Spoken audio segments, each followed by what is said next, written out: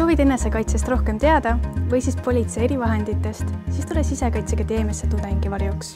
rohkem informatsiooni tulevikutegijad.ee